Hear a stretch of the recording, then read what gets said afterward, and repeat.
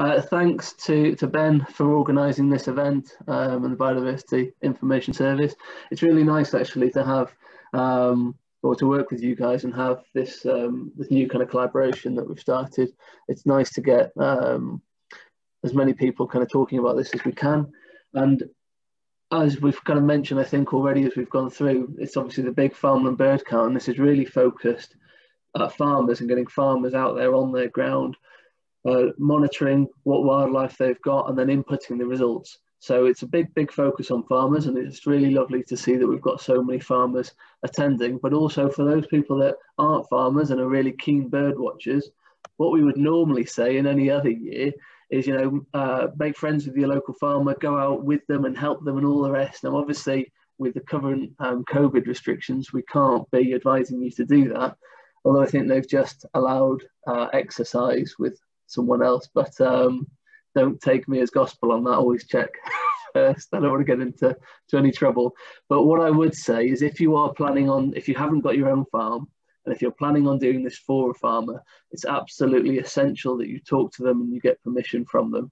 Um, so that being said, I'll, I'll move on now. So for those of you that aren't aware, who the Game and Wildlife Conservation Trust are.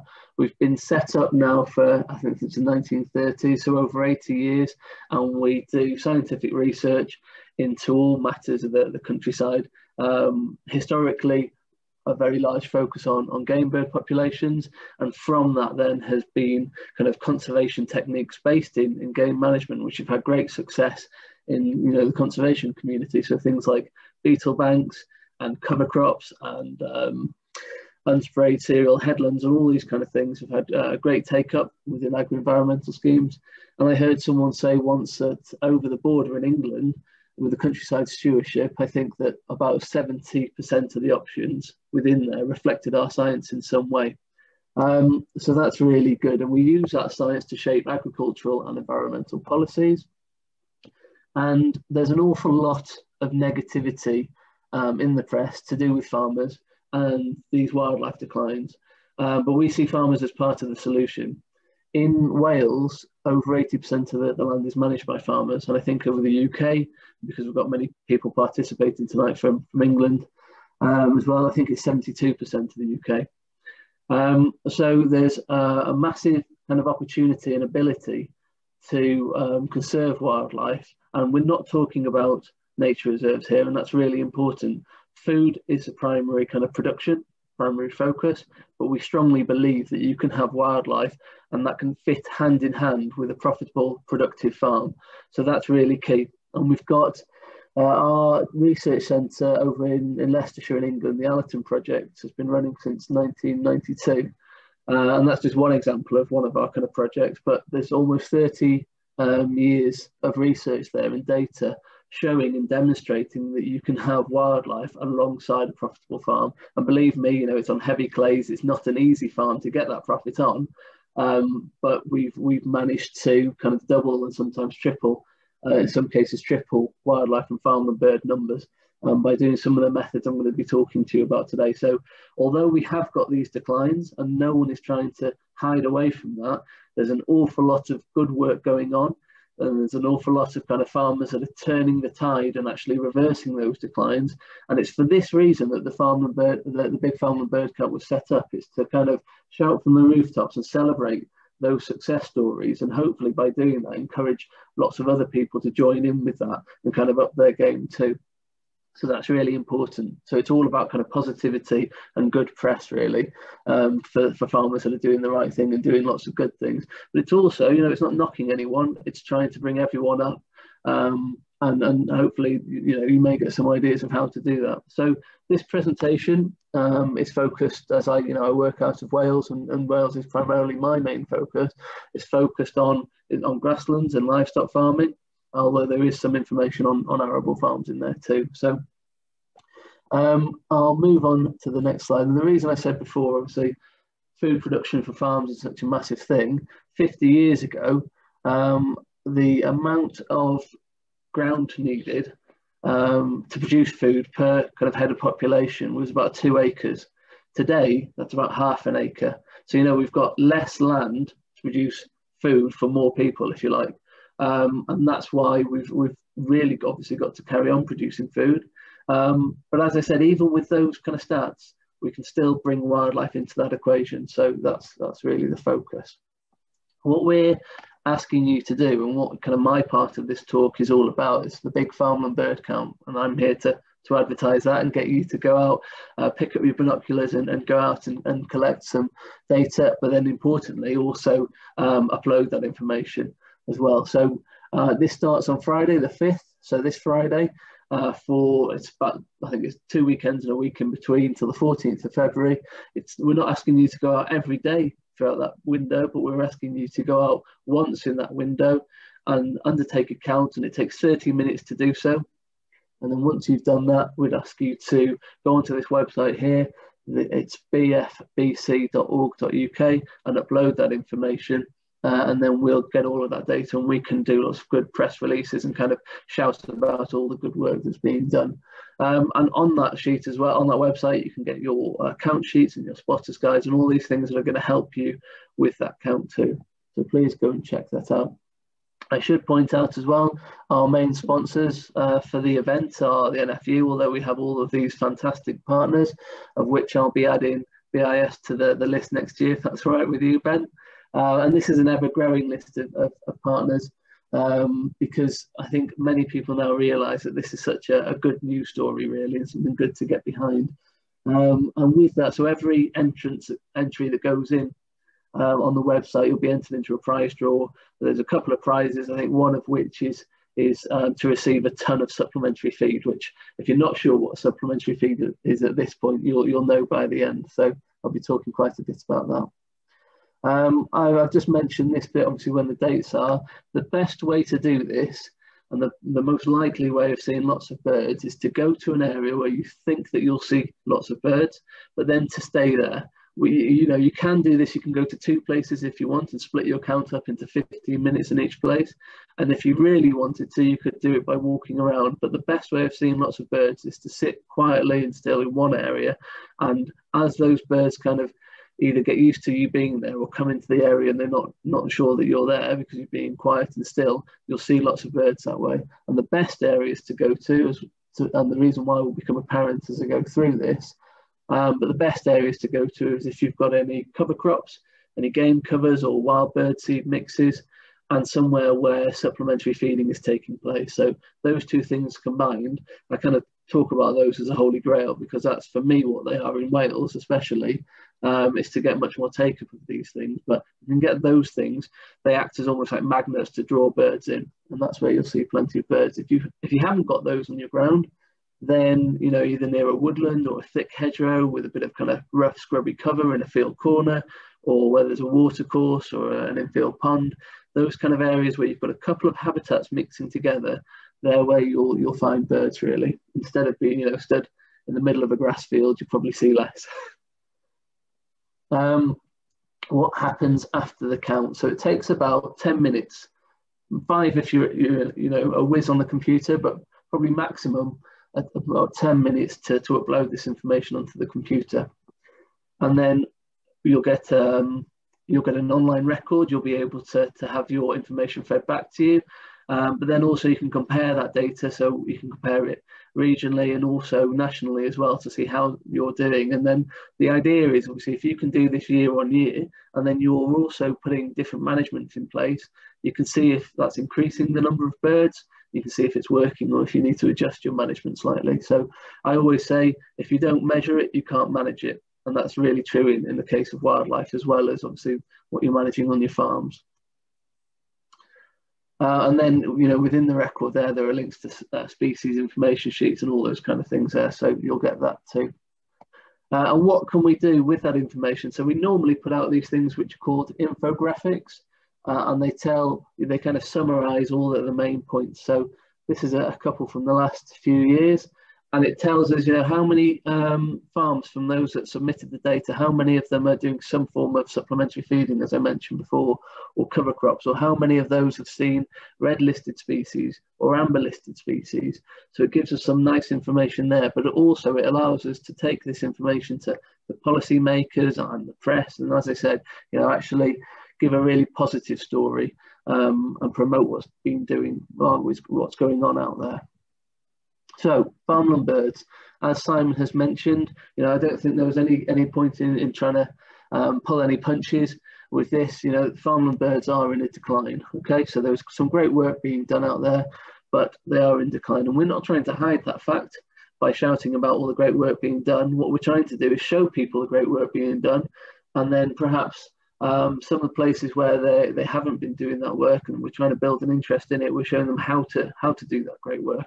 So we want to, to get everyone, you know, to increase the standards in terms of wildlife conservation and reverse these declines. And we're really confident that we've got a, almost a model of how to reverse these declines, and especially in seed-eating birds, seed-eating farmland birds, but also in you know in some of those waders species as well.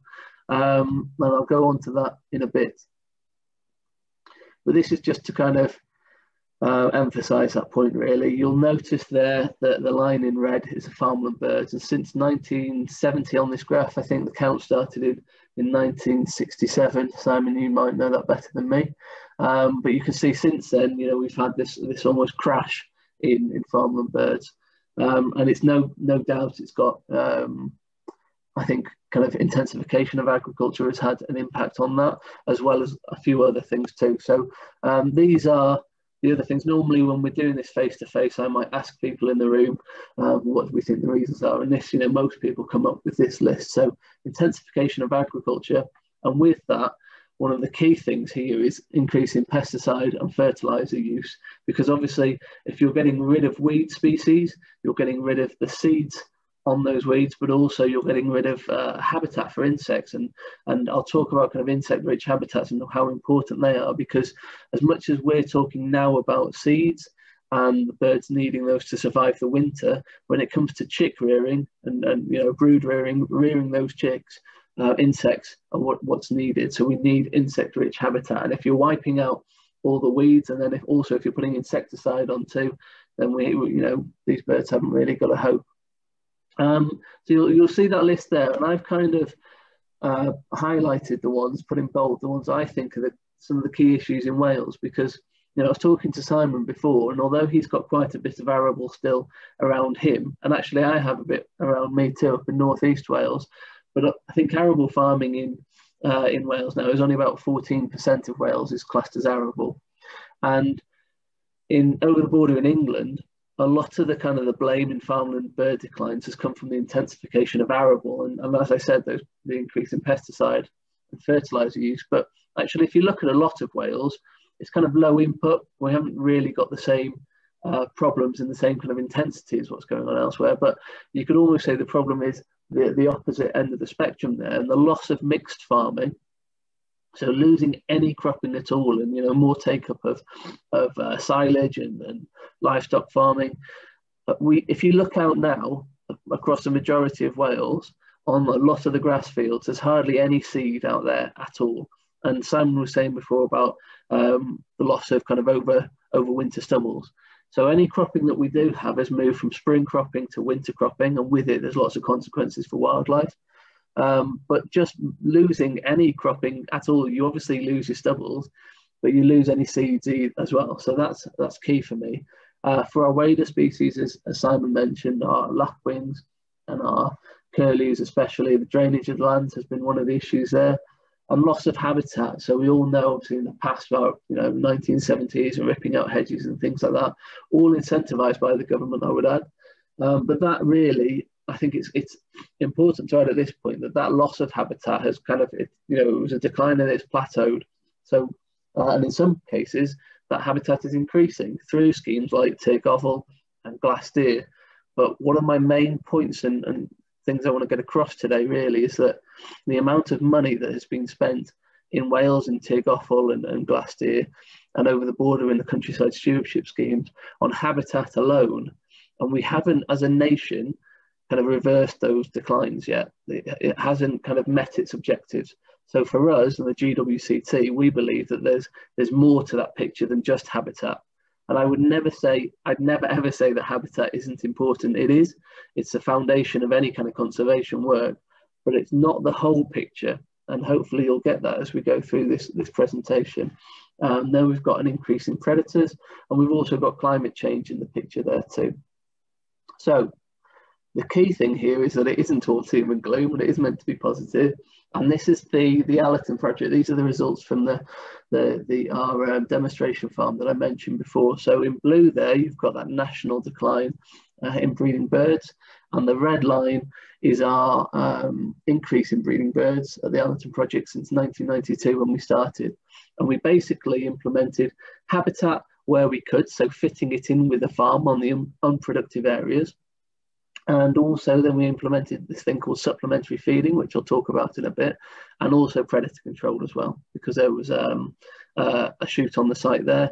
And those three things combined, we were recording all of our kind of farm and bird species, and they all went, you know, the, the, the numbers just rocketed up. And, and it was really important actually for policy at the time because those declines from 1966 here took decades and decades and decades to get as low as they got. And everyone at the time was saying, well, actually, you know, if we can do some improvements, it'll, it'll take decades to improve them.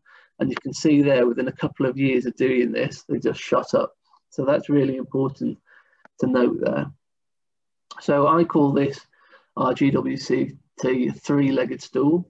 Uh, it was originally put up by um, a famous kind of scientist who used to be, um, unfortunately he's passed away, but um, used to be the uh, director for the, the GWCT, um, uh, called Dick Potts. He came up with the three-legged stool kind of principle, and I've just adjusted it slightly for Wales. So the, what we look at here is habitat, and that habitat can be nesting habitat. Obviously vital, that's the first step. We've got to have somewhere to, to nest. Um, secondly, insect-rich habitat in the, in the late spring and summer, really important to be feeding the chicks. And then winter weather protection. Um, so cover from the, the elements, so cover from the wind and the rain and the snow, but also protection from predators as well. And also that can double up as a food source. So uh, seed bearing cover crops is what we'll get onto later as a holy grail. Uh, food provision, really important. So seed in the winter and the spring and insects in the summer, as I've mentioned and legal predator control into that. So um, this and this is important because it must be before um, the, the, eggs are produced, so or just as the eggs are produced, um, because we've got some nuances with our general licenses in Wales now. So we've got to protect eggs and we've got to protect chicks, and that's got to continue to you know to protect those fledgling birds. Um, and within that, there's a suite of predators that we can control legally, being foxes, being some of the main ones, and corvids, so your carrion crows and your magpies, which we mentioned before, rats, and then mustelids such as weasels, uh, stoat, and mink. And if you control the suite of predators, that's when you can have a really um, huge impact, really. And I appreciate that not everyone on this uh, call participating will be uh, that interested in predator control, and some may not uh, like it. But I've got some results to show you later that it certainly works. Um, so I'll be showing you that later and kind of this is important because kind of love it or loathe it, it is an important part of conservation. And it's all a lot of this has come from our research, and even you know the likes of the RSPB use predator control now on their reserves to protect kind of birds of conservation concern. So uh, it's a known conservation method, I should, I should say. So moving on, I've kind of mentioned this already. Uh, we need nesting sites, we need insect-rich habitat, and we need areas uh, of seed. So these are the important things. But what I would say is that uh, the way that we deliver these requirements differ depending on the species. And again, managing and recording what species you've got can kind of, you can then tailor your management for certain birds. Uh, so, for example, yellowhammers. If you're if you're interested in yellowhammers as a species, which you know you used to have a lot of, and you're keen to get more of them, you're keen to get them back. They like a nice kind of tight, thick hedgerow, and they nest in the bottom of that hedgerow or in the scrub next to that hedgerow. So it's no good farming right up to the hedge if you're after yellowhammers. But another example of that is if you're trying to um, conserve tree sparrows, then putting up nesting boxes is one of the things which is really vital for them. And putting up nesting boxes um, so they can nest in a colony on maybe uh, an oak tree in the corner of a field. And then if you've got a cover crop with something like quinoa next to that, um, you know, you're onto a winner with there. So depending on what species you're after, you can tailor your the way that you're doing these conservation efforts. So I like to include this picture because it's starting from a clean slate, as I like to call it.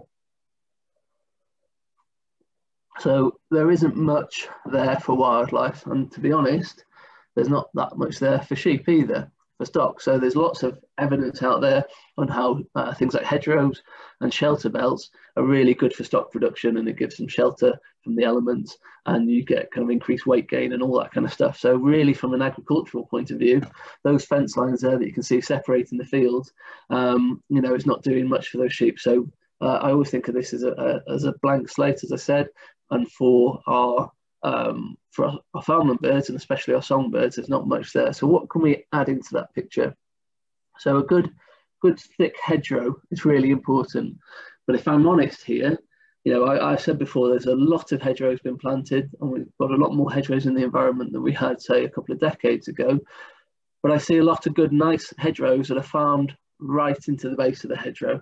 And I've just said how important it is for kind of sheep um, as to get protection from that, that hedgerow. So I'm not expecting you to do something like this on on every, you know, you've got four hedgerows in the field, uh, on every single hedgerow. But if you were to do this on one hedgerow, it'd be more than is currently going on. And that's the point here, is to just do something extra. And those ones and two percent can then add up. And if you've got something like a farm cluster where your community of farmers are all working together, those one and two percent actually are magnified and they become much more. Um, so doing something like this, where you've got a bit of a buffer strip and tussocky grass and things like that next to a hedge, uh, is really beneficial, uh, especially to things like yellow hammers, as I mentioned, and things like linnets too. Um, so that's what we're looking for there. Again, you know, if you if you're cutting silage and you've got um, an area of your field, there might be an oak tree stuck out into it or whatever, and it might be an awkward corner. Leaving that that can have huge benefits too. So kind of scrubby corners are, are useful or if you've got a ditch along there, you know, having a, a, a, um, a buffer along there is really important too. And that might look like this. Um, this is a really kind of common practice. Lots more people are doing this now. There's lots of grants for this kind of thing. And apart from, um, you know, minimizing diffuse pollution and runoff off those fields, what that's also doing, if you're not fencing right up to the, the waterway, is you're, you're creating a bit of habitat. That habitat again will get thicker um, it's important to be able to manage that as you go on. So maybe cut that every three to five or seven years. Um, but what you've got there is a habitat that's great for things like uh, reed buntings, and there's lots of insects in there. It provides nesting habitat, but other species as well, apart from farmland birds. Obviously, I'm here to talk about the big farmland bird count, but things like water vole as well.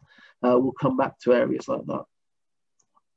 Moving on, without fencing it off, obviously, putting things like scrapes in, and instead of having a, a thin, deep drain, actually having a, a, shallow, wide ditch and drain and scrape, that kind of thing is fantastic for things like lapwing. Uh, you get a lot of invertebrates in these areas, and that's their chick food. So as I said before, depending on what you're looking at and trying to conserve, will depend on what you're trying to put in place in your farm.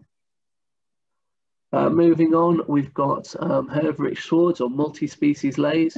Uh, there's lots of work going on within the agricultural community on these at the moment and things like rotational grazing and all this kind of stuff, which is all great and soil health as well, improving the health of our soils. But on top of all of that is the fact that these are insect rich. You'll get lots more insects instead of a monoculture ryegrass. So that's really important there. And obviously going back to the days of hay meadows, you know, I, you know, I'm in my 30s. I'm not that old, but I remember, you know, many, many more swallows when I was younger, and you'd see them in places like this, and they'd be the you know, the skies would be full of swallows, and they'd be over fields like this because of the amount of insects in fields like this. So that's really important. And again, I'm not talking about having all of your farm being converted into hay meadows, but you know, if you can get a small field or an area and just do this kind of thing, then that will make a big, big difference brassica forage crops. Um, again, you know, great for, for sheep and uh, a variety in their diet and lots of health gains for sheep in that instance. But also this time of year, you've got a warmer crop. Um, you've got somewhere where you've got kind of thrushes and blackbirds and meadow pipits and things like that getting into there because it's a bit of a microclimate, it's a bit warmer. You've got overwintering insects in there as well. So they're great on their own, really and they're almost what I'm going to be talking about later is in cover crops. So if you can leave these for as long as you can before you get the, the sheep to browse them off, um, that's going to be really beneficial. And these will be instances where I'll be talking about before putting up kind of um, supplementary songbird specific farmland bird feeders. You can put them in these kind of fields, you'll have great results really. and finally, I think this is finally anyway, moving on in terms of livestock farming, what can be done? Uh, silage fields. In terms of wildlife, silage fields get a lot of negative press. Uh, from curlew before, as we were talking about, you will get curlew trying to nest in silage fields. So if a curlew's not being predated, or the eggs aren't getting predated, the chicks aren't getting predated, they're either getting that or they're getting mown up by silage cutting. Uh, and that's the unfortunate truth of it. So that's also one of the kind of the, the main causes of declines in curlews in Wales. But in terms of, you know, I appreciate that silage needs to be grown. Um, and what we can do is kind of thin strips next to a field, so five or six meter strips of this. If you can, instead of cutting that, if you allow that to set seed, there's been research done by the RSPB on this one that the you know the benefits to things like yellow hammers by doing this is quite good. So uh, there's just in you know putting in small things where you can, say in your margins where the land is less productive because you're you know you're next to a hedgerow, it's being shaded, etc. Um, that's really key to just doing little bits where you can. Moving on then to some arable areas. Uh, this is a fallow plot out in the middle of a field for lapwing. They like to, they don't like to be next to hedgerows. They like to be out in the middle where they can see predators coming in. And putting a fallow plot in is, is a, you know, some of the best things you can do. If you're an arable farmer and you've made the, you know, the move as many have towards winter cereals, so winter wheat and such, then um, putting these fallow plots in or firstly putting going back or putting a field a, a spring sown cereal in is it's one of the best things you can do. But if you can't do that then putting a fallow plot in and and these are funded by um, stewardship schemes in both countries in, in Wales and in England. Um, and the best places to put them is where you've historically seen lapwings breeding. Um, so they're absolutely great. And uh, if you can if you're that way inclined you can also put an electric fence around these to stop things like foxes and badgers getting into the nest and that increases your um, your egg hatching success rate. Um, so that's one thing that can be done for lapwing. And then also fallow plots for skylarks. So again, the best thing you could do if you're an arable farmer is to put spring sown cereals in.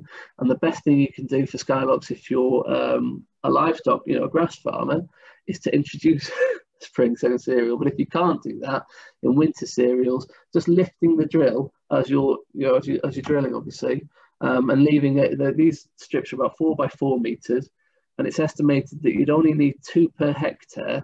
So that's something like, I'm going to be, be a bit geeky here, but it's about 0.3% of the field or percent of that hectare. Um, so you're not really losing much yield at all. And again, you can get payments for these. You can get payments for this in England, but currently you can't in Wales, unfortunately. But by doing this, it's been shown that you can dramatically increase skylark populations.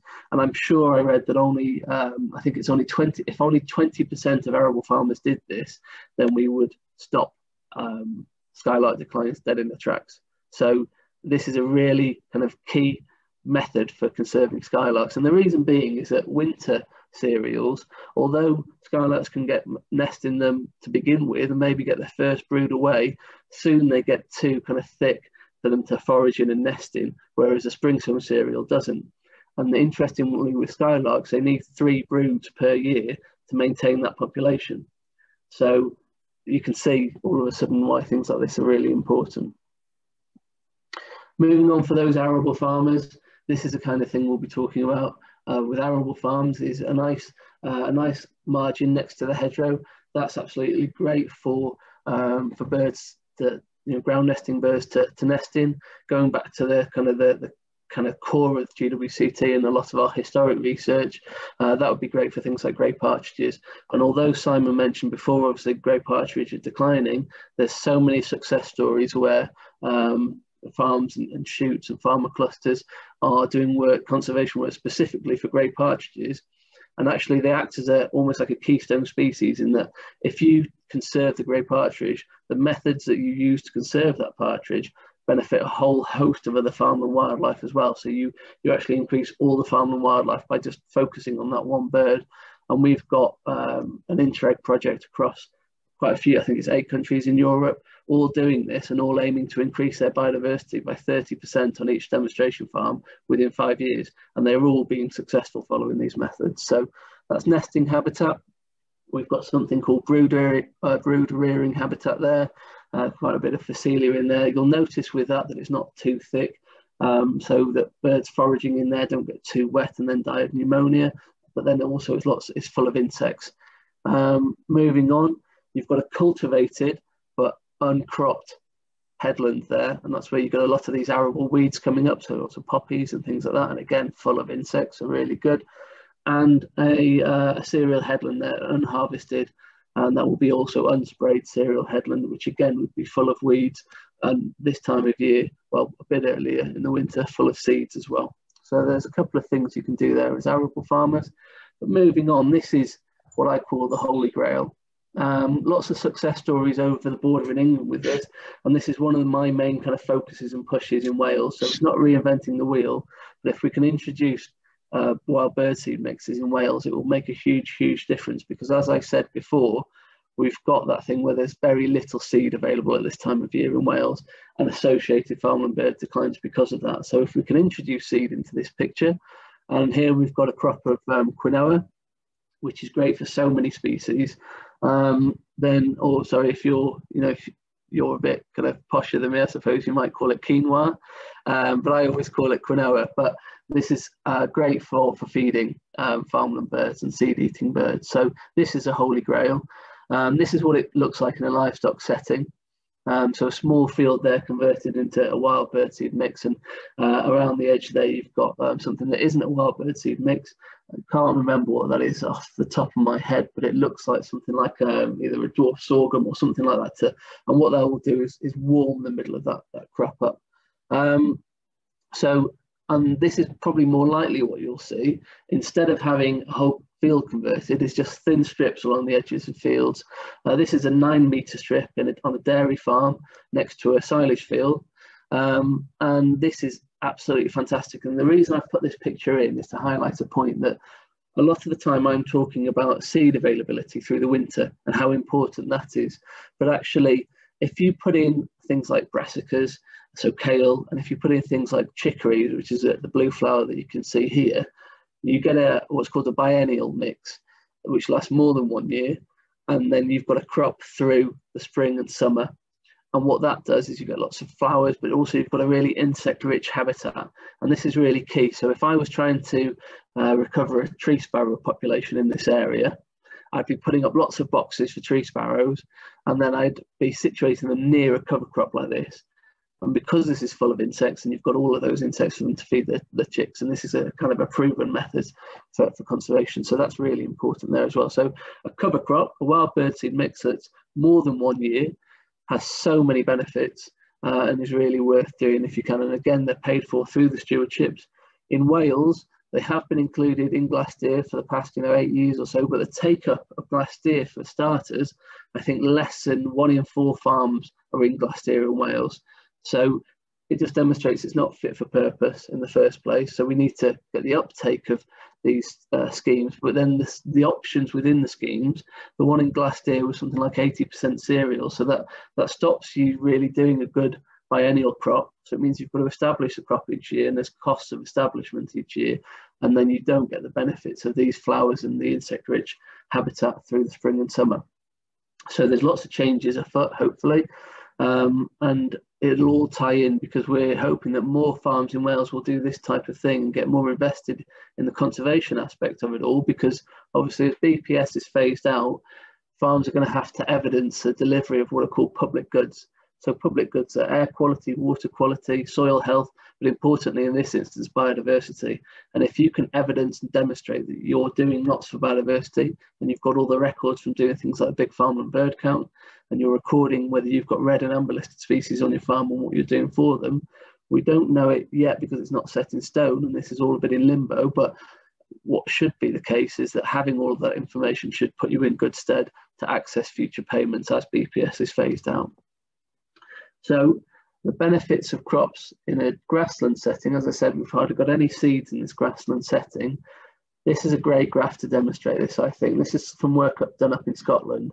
And the ones you can hardly see there are other crops in a grass setting and other crops in an arable setting. So they're the black and white right at the bottom, hardly any impact at all. And then we go to the yellow bars, and these are in an arable setting and having wild birdseed mixes in an arable setting. Um, and that just shows you the impact of drawing birds in at this time of year. So absolutely fantastic. But what the, the, the research shows is if you do it in a grassland setting, the benefits of this is much more magnified. So you get lots, lots more birds coming in from further afield because there's hardly any seed about. So they, they see this as they're flying around and they all go to it. So that's great. And that increases birds at this time of year. Um, but even the best cover crops will be losing their seed through December and, and, certainly in January, and they'll become seed depleted as the birds eat the seed. So there's not much about at that time. And the hungry gap, as many of you may know, lasts from December all the way through to the end of April and sometimes into May. So you've got there, you've got February, March, April, where there's not much food around in the environment, and our cover crops, which are great at the start of the winter, aren't really providing that either. So we need something else to add on to that. And what we do is we add on something called supplementary feeding. And this can be either done by spreading out um, bird mixes along farm tracks or uh, in areas of hard standing or by doing it through hoppers. And these are farmland specific um, feeders. So these are put at, at, least a metre off the ground. So they're not designed for um, pheasants and partridges and things like that. Although this is where the kind of the idea and the concept came from. There are so many benefits of putting food out for pheasants and partridges because lots of other birds then eat that grain and survive off that grain. And this is where this idea came from for supplementary feeding. It was put into policy, obviously. Um, and over the border in England, it's got great take up over in, in, Wales, it is it has been in Glastir, but the majority of the farmers that I talk to aren't aware that it's in Glastir at all. Um, and I think the only reason it was put in was for the Twite project, which is in um, Snowdonia. So it is something that was accessible if you'd have asked for it, if you knew about it. And my hope through doing things like this, and we've got a number of projects running in Wales, is making farmers aware of this kind of thing so that when it comes around to the next scheme, they can actually ask for it um, and this, you know, has huge impacts on, on lots of seed-eating farmland birds. This here is a video. Now these are brambling, as Simon showed you before. So these aren't resident birds. They don't breed in this country. They come in through the winter and they normally form mixed flocks. But doing this supplementary feeding, and you'll see this is next to a cover crop there. So as I said before, habitat is still really, really important. We can't do it without habitat. But putting in supplementary feeding alongside good habitat and wild bird seed mix like this has huge, huge positives. I'll just move on from there. So we know supplementary feeding here, the blue is the number of birds surviving through kind of January, February and March, where you've got supplementary feeding.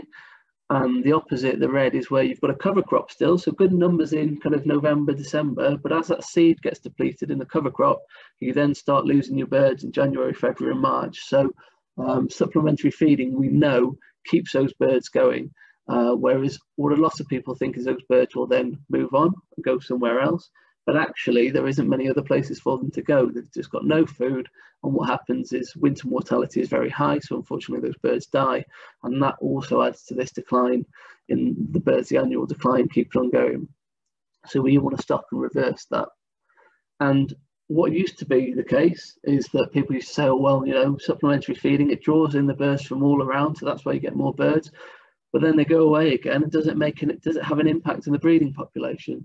So again, we've done that research, and we found that farms with wild bird seed mixes, and even those farms where they had forage crops that were grazed off by sheep, where they were doing these techniques, within kind of 400 meters, and especially within 250 meters, resident birds, so birds that have been here all winter, the numbers of those resident birds was much, much higher. You can see there pretty much double the number compared to on farms where there was no wild bird seed mix. So we know that not only does it help birds survive through the winter, it gets them into really good breeding condition because they're the right weight, which is very important, and it maximizes their breeding potential.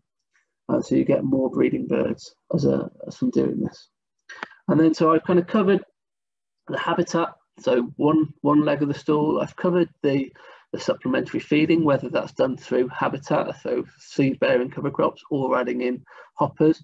And then the last one, if you remember on my three-legged stool, was talking about um, predator control. And as I said, some people aren't fans of this, and some people are fans of this. But this is the data from the Allerton project. And you can see here, when we put in habitat, when we put in supplementary feeding, or when we put in predator control, this is what happened from 1992, which is our control year where we didn't do anything, we started this work in 1993. And for about an eight year cycle then, we more than doubled our, our farm bird population by doing that. Then what we thought it'd be interesting to do was see what it was that was really making the biggest difference. And we took away the predator control and those numbers dropped by about a third then what we did was we took away the supplementary feeding and they dropped again by about another third. And you always get fluctuations within this with good breeding years and poor breeding years and all the rest of it. But what we kind of surmised from all of that was that by doing all three, you get your full maximum potential, so that 100% potential. If you only do the habitat, you get about a third of what's what your potential is.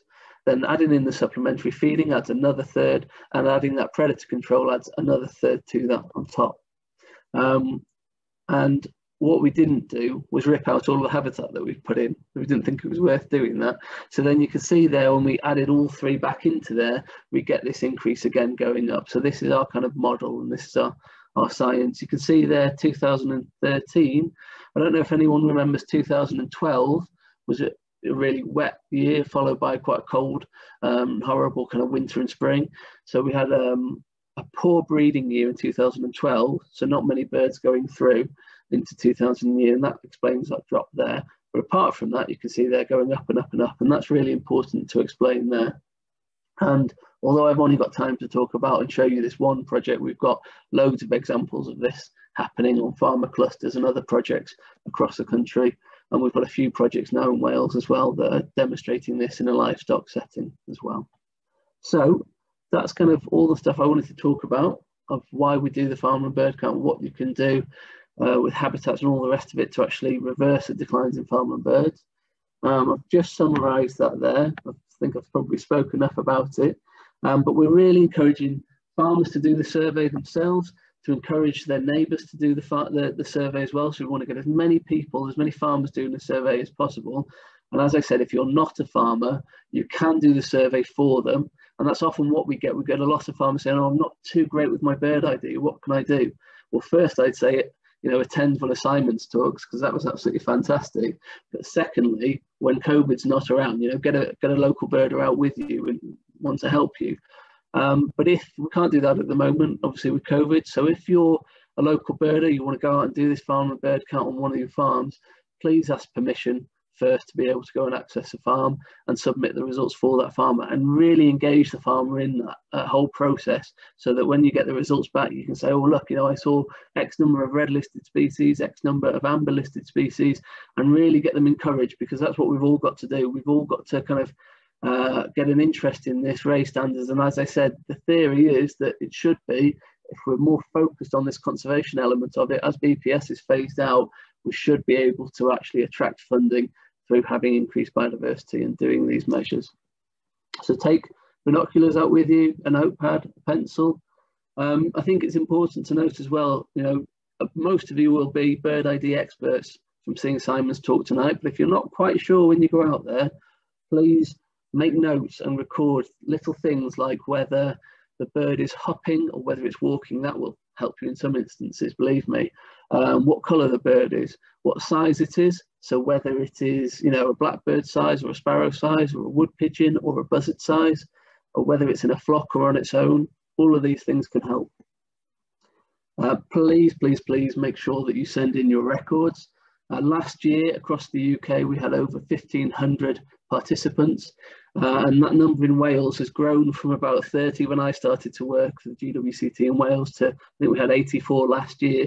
But I'm really hoping that we smash that 100 participants target in Wales and, and really we should be aiming for two, 300 records in Wales. So we really, really want you to do the count, but please remember to, to upload your results as well and don't just be proud, be loud. So please, you know, tell people about the birds you're seeing and the GWC team will shout um, all of this uh, information for you and really kind of shout about the good work that's been doing on farms and, and how to reverse these declines. And also what we'll be doing as well, what I would say for Ben um, and BIS is if you're happy to, because we haven't been able to set it up so that there's a, an option to click if you're happy for us to share the information with BIS, what I'd also like you to do is if you're happy to, if you you know if you live in Powys and, the Brecon Beacons, please then once you've uploaded the information onto the um, onto the BFBC website, please then send your information on to Ben and he can then create a record of that. And what we're hoping to do in the future is get a like a link so that people can then share that information with with um, BIS and other recording centres if they wish to. Um, so that's me over and out. But the most important thing of all is to enjoy it and do it. so as I said, that's from this Friday uh, till the 14th. And uh, yeah, I encourage you all to get out and do it. So thank you for, for listening. I think there's lots of questions that have come in as I've been speaking. So I'll pass this over to Ben. I'll stop sharing my screen. And uh, there's some Twitter hashtags as well for you if you use Twitter. So thanks very much, everyone. Thanks, Matt. That's great. And I hope that's inspired lots of people to take part in the Big Farm Bird Camp and also given farmers out there some ideas to do on your land to encourage more birds and more wildlife generally onto, onto your farms.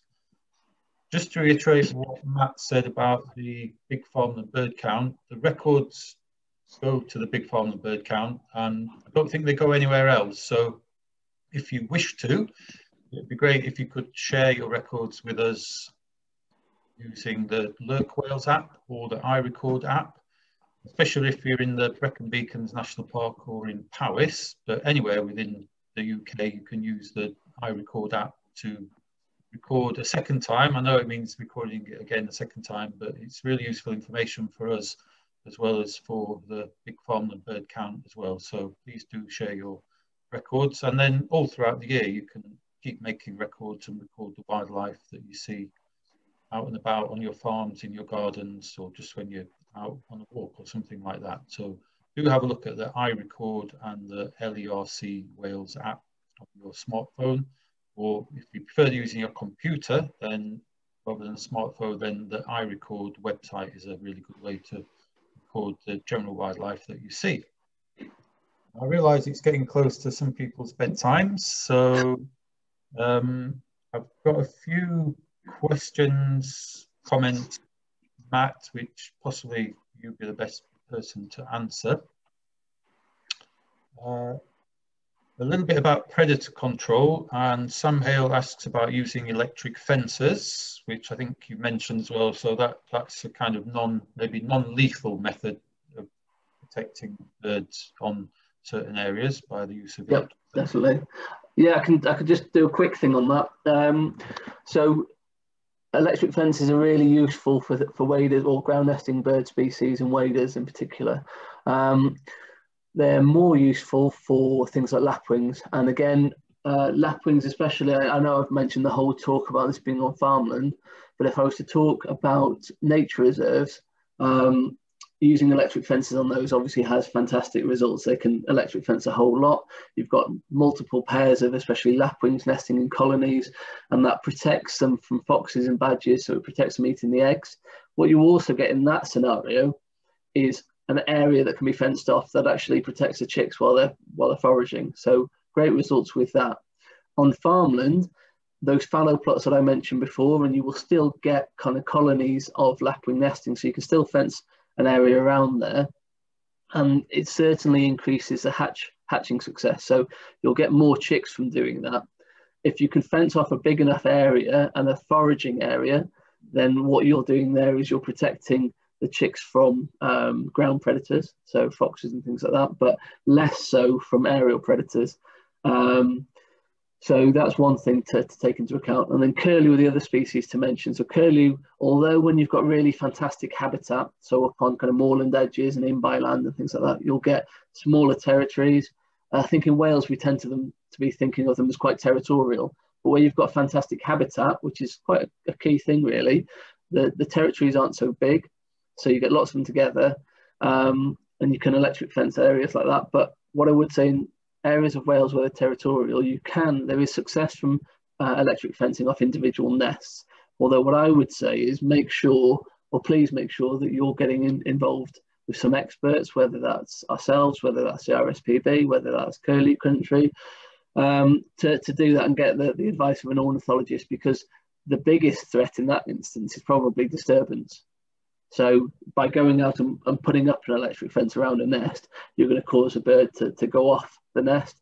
And if you spend too long doing that, they can actually, the, the eggs will go cold.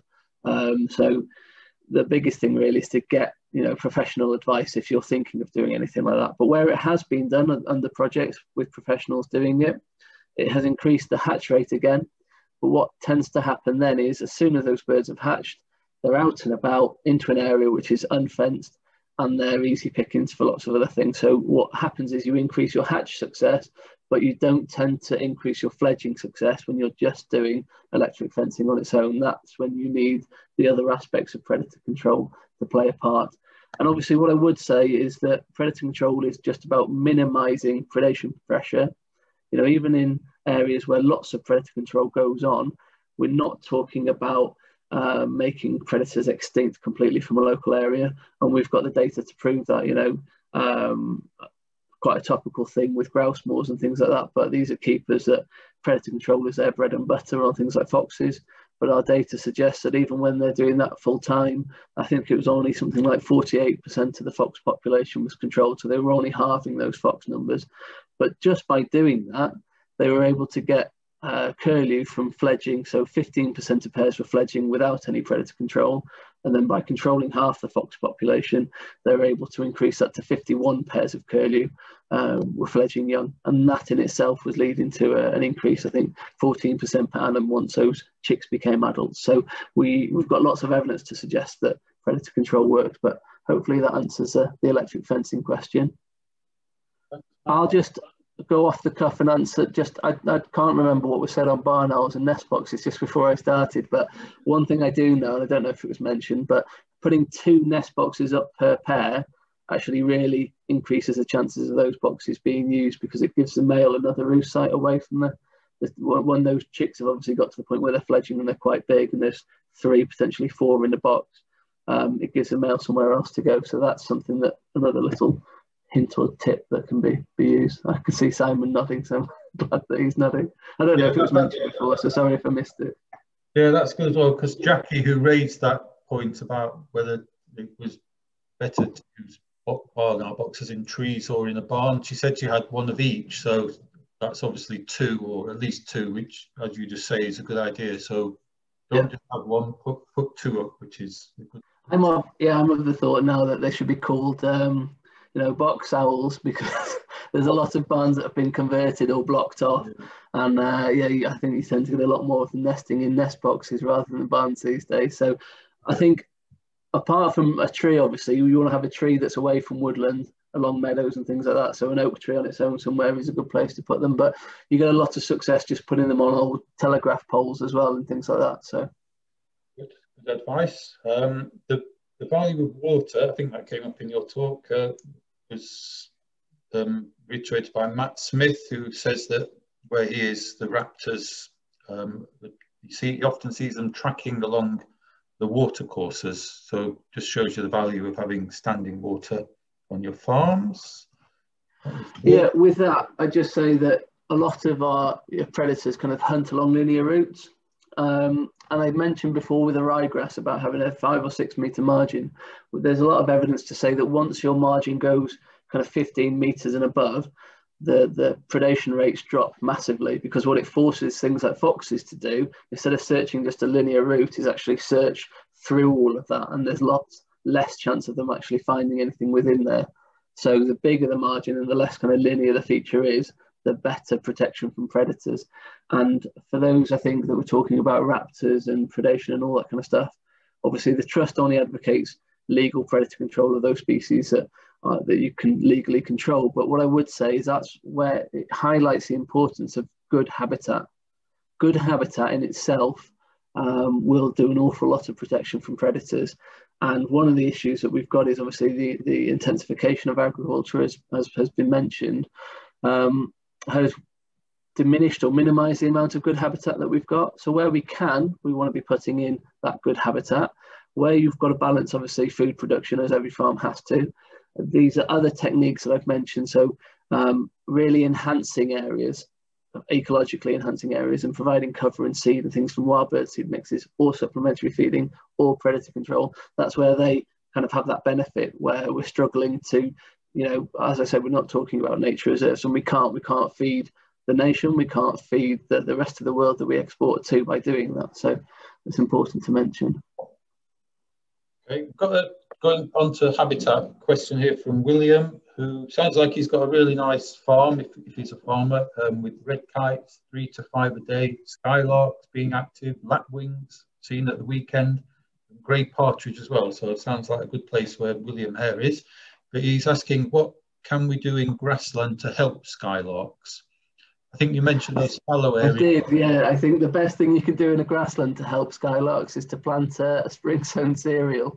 Um, but apart from that, I think it's uh, what you need to do on grassland is manage the, the habitat so you get the grazing pressure right. So you get a bit of a mosaic of habitats um, with some shorter areas, some thicker areas, and that kind of stuff. Um, and you certainly do get skylarks on, on grasslands, they'll, they'll certainly use them. Um, but the best thing that you could possibly do, and again, this can be grant aided through a scheme, is to introduce a spring sown cereal crop. But for grass grassland farmers, what I would say is if you've got, you know, grass ley that's been there for quite a long time, just make sure you don't need to do an environmental impact assessment first because we've got these kind of regulations about the amount of grass pasture we've got. And then also uh, you want to watch out for things like wireworm and things like that, which can affect arable crops after it's been in a grass ley for a long time. William just adds that he's in a grassland oasis in arable seas, so very poetic. So there you go. Encourage um, skylarks as well. Um, Kath briefly asked, what about, are there any benefits of bracken to birds? I would suspect it's more the cover that they would provide and shelter.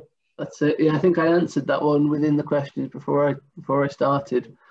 So um, if I think, Kath, did you see the answer to that? Because that was your question, wasn't it?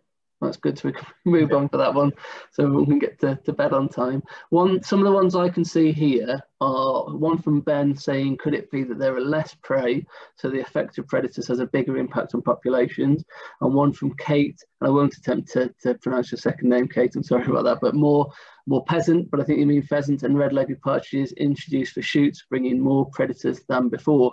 And I think that the, the answer is somewhere in the middle of all of that. So the first question first, the one I mentioned from Ben, is that that typical kind of predator-prey relationship that most of us will have learned in school with the, you know, the, the snow hare and the, the lynx, um, and them following each other and going up and down, that doesn't tend to actually happen, um, especially in the UK with our, with our farmed landscape, because as you've mentioned there, that the predators and the apex predators are generalist predators in the UK and they rely on lots of other species. So what we found, especially with grey partridges, is that you know your predators can have an impact on that one species, but then as that species declines, the, the, the generalist predator that will then switch its prey source to a different predator, so to a different prey, sorry. So it will never itself kind of decline, whereas you've just decimated that one prey population. Um, and then the other thing is that because of the reduction in habitat and all the rest, as we get to very low populations, these low populations are less able to cope with predation pressure as well. So they become much closer to dropping off a cliff completely. Whereas if they had more of a population, it wouldn't have as much of an effect really. And then on to Kate about the pheasants and the, the red-legged partridges. I just mentioned, I think Kate before put a report from the RSPB looking into shooting and, and of course, please, you know, all feel free to read that one. It's important that this is a balanced debate and we get every side of the argument. But I also then put on uh, a paper by Rufus Sage, who has looked into this too. He works for the GWCT. And actually, it's funny, or it's, it's interesting, not funny, to look at the different conclusions looking from the same literature, because if you weight the positives and the negatives in the same kind of categories, what you get is a, almost like a neutral impact. So there are many positives associated with, with um, game management, from supplementary feeding and habitat management to predator control to woodland management, all of these different things. But there are negatives, you know, there are associated things around the release pen. So there's impacts on flora within a woodland around the release pen. There's also negatives um, through the illegal persecution of, of, raptors, which is a, you know, a real negative. Um, but what you do if you just weight those equally, what you end up with is about the same amount of positives and neutrals as, as negatives. And then within our management, what we can do then is really kind of maximize the positives and minimize the negatives. So you get what's called a net gain to biodiversity. And again, this is a kind of proven concept. So net gain to biodiversity basically means that there's more biodiversity as a result of having a farm on a shoot than there would be if that shoot wasn't there. But certainly, you know, I'm not going to sit here and lie. There are the negatives and there are places which aren't maximizing the, the positives and perhaps are, are maximizing the negatives. And in that case, you've got a negative picture. But what the RSPB did in their report was actually lump all of the positives together into one block and actually the negatives and kind of move those about and get more of them. So what you get there is it looks a lot more negative than actually if you review that literature yourself and look through it. So that's why I put both of those there.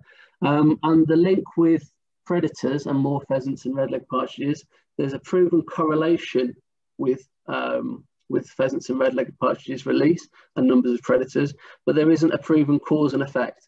Now, again, you know, this isn't black and white. The truth will be somewhere in the middle. I'm quite happy to say that. But you've got so many variables. You've got urban populations, you've got um, farming practices. And one really kind of clear thing from this that I think is key in Wales, especially, is that this link with carrion crows and pheasant releases and predators and that side of it is that the, the big kind of boom in carrion crow numbers was around the 70s when we got kind of increased stocking densities. And what carrion crows like is a short sward height, which goes hand in hand with sheep farming. What we haven't seen with carrion crows is a big boom in numbers since what's happened with Wales with increases in pheasants, more so in the last decade or so. So, put simply, I think more research is needed into that. I'm not disagreeing with Kate, but I'm saying that it's a much more kind of complicated picture. And what we should have is good shoots, doing their predator control, benefiting birds for conservation, and we shouldn't have that spillover. And what sometimes we don't get with poor practice is, is shoots not doing the predator control at the right time of year. So again, that's that maximizing the negatives instead of maximizing the positives. So it's a very complicated picture. So I just wanted to hopefully answer that from a, uh, as much as I can be non-biased point of view, really, because the trust isn't a shooting uh, lobbying organisation it's a, what I would say is a pro game management organization that's based on the science. So we do scientific research and we use that research. And, and what we found is a lot of game management practices have an awful lot of benefits, as, as you've seen from, from tonight's kind of talk, I suppose. So hopefully that will answer that one. Thanks, Matt. I was you almost read my mind because I, kind of lumped all those together and they were the next ones that I was just going to bring up. But that's they great. were just the ones I could see. yeah, and I, in the chat, I posted those two reports right next to each other. So you, if you want to, great, thank you. Both of those, you'll be able to see those. And I think Kate then mentioned grey partridge is a red listed bird, sadly though. And I think again, it's more to do with changes in agriculture as to why that decline happened. But if you look at any areas where grey partridges are actually increasing, it's where they're managed by shoots, not specifically for shooting, because they will only shoot once that wild population's got over a certain threshold. And to be honest, many shoots are doing the conservation not to shoot them, just because it's an iconic species. So it is red listed. It's also a game bird with a season, but that kind of incentive is what's driving the conservation recovery in those localized areas. And I would say if you had that incentive everywhere, you'd have grey partridges everywhere. So it's really interesting that one it's an interesting piece. Hopefully, we're getting through these questions now. yeah, I think that, that, I wrote all the questions down that I could see. I don't think there's any more. I think we've covered most of them. I think we, we should start to, to wind up now and finish up. Um, the audience is dropping in number, and we may end up debating this all night, as is probably we, yeah. we just may end up talking to ourselves. So, yeah. Um, it's just I'm sorry it's so one-sided. Obviously, it's just me talking at you. yeah, so that's great. Um, just one last question or comment from Simon. Can I just ask you a question? Somebody, um, Bev, was saying that she often runs at night and flushes birds out. And yes. would it be most likely to be snipe, or would you? Can you flush curlew out? Yeah, more likely snipe or possibly woodcock. Yeah, I'd, I'd say woodcock. Yeah. Yeah. Depending um, on where you're running, obviously we've got uh, we've got folks who go ringing waders at night up in the hills um, above Newtown, and they come across snipe and woodcock. Well, I think I've got a question for Matt all Oh, yes, Simon, go on. just before we go, and that is here in Wales, we're not even allowed to drive to take our exercise. Yes, So um, don't be too upset if you don't have many takers for your farmland bird counts because of course, yeah. get to the good areas. Yeah, yeah. No, we- we're completely rely, reliant on people being able to to walk to those areas where you know where they're going to do Yeah. the count. And as I said, that the main thing with this is trying to encourage farmers to do the count. And obviously, every farmer would be able to go onto their own farm. But if you're not a farmer and you want to do the big farmland bird count, that's a really important point, Simon. Is that you should be able to reach that place where you're going without driving. So you should be able to walk there as exercise or run there. Yeah. Uh, you you know, but make sure you catch your breath before you do the survey, otherwise you'll you'll put all the birds off.